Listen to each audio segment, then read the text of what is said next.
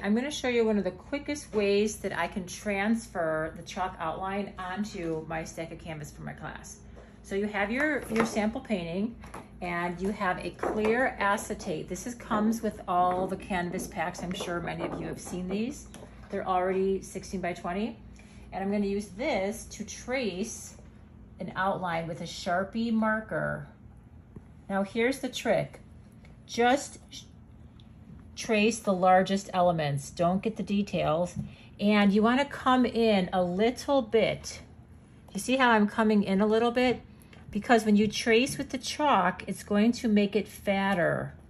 So you want to come in about a quarter to an eighth of an inch and trace the entire piece just a little bit smaller than the original. Notice I'm not going to trace the bat. I'm to come in and trace the shoe and the pumpkin. And I'm going to do the bottom of the pumpkin because that's way more challenging than people could, anyone can do a hill. We want to keep the challenging parts for people. Now, as a guide, I'm also going to cut out the nose. So I'm going to cut out the nose. This is what I'm going to cut out as a template.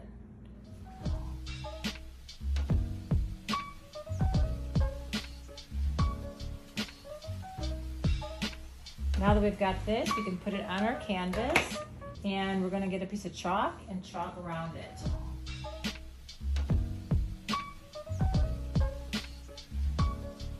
We can actually finish this out for people.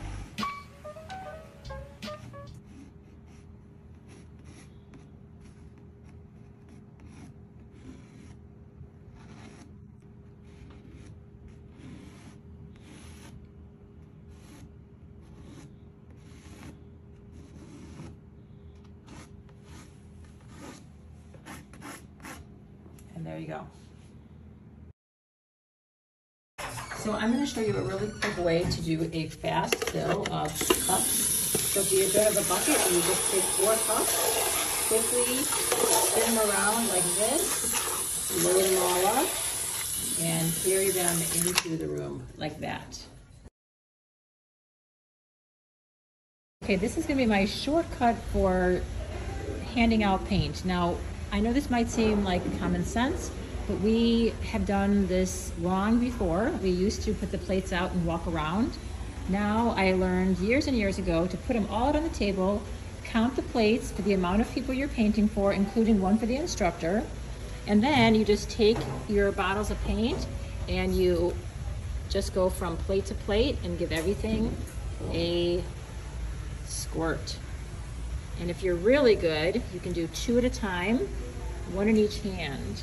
Of course, I'm holding the phone, so you just do one at a I'm just gonna do one at a time. And, and this way you have all your plates accounted for.